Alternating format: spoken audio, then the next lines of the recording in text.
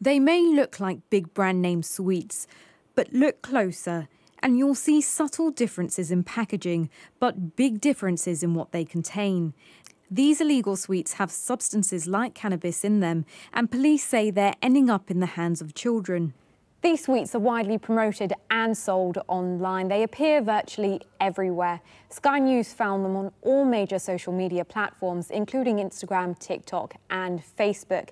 And on Facebook alone, when we searched the term edibles on Marketplace, around a third of the results that came up contained drugs. It's something that's causing problems for most police forces around the country.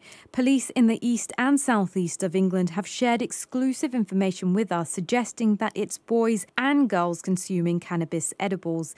These boys and girls tend to be of secondary school age, and of people they've arrested, a third were under the age of 18. These illegal sweets contain something called THC, the ingredient in cannabis which gives the user a high. For children, side effects from it can be incredibly harmful. Cannabis damages mood, memory, and motivation.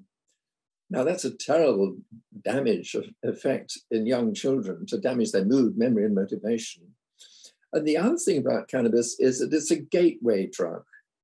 It's sold in county lines, and the same people are, are selling acid, ecstasy, uh, cocaine, heroin, there's also concern that consumption of these illegal sweets is rising. One of the things we know is that this, their sale um, is on the increase. Um, there seems to be more and more of them coming onto the market. Um, I think one of the things we are aware of is that there has been some um, recent hospitalisations of children who've been consuming these products. Meta, who own Instagram, Facebook, and WhatsApp, said they proactively removed 98% of this content in the last quarter, and that they're working with police and youth organisations to further improve their moderation. Aisha Zahid, Sky News.